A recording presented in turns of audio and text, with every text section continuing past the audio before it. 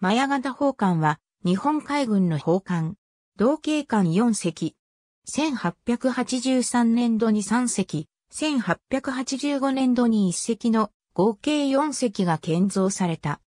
国内の民間造船所が活用され、横須賀造船所で1隻が建造された他は、小野浜造船所で2隻、石川島平野造船所で1隻が建造された。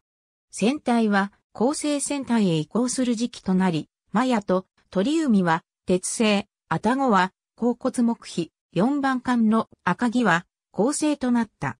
兵装は当初24センチメートル砲1門、15センチメートル砲1門を搭載する予定だったが、兵装が課題という批判があり、各艦とも砲を減らし、それぞれ違った砲を搭載している。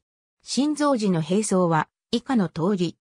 4隻は1888年から1890年に竣工し1894年からの日清戦争に参加。1898年の類別制定で、法官に類別された。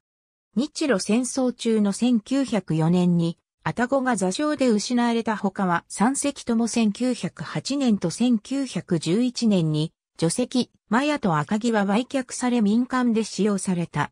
特に赤木は太平洋戦争後まで使用され、1953年に解体されている。ABCDEFG 用目は世界の艦船日本特務艦船史 P78 による。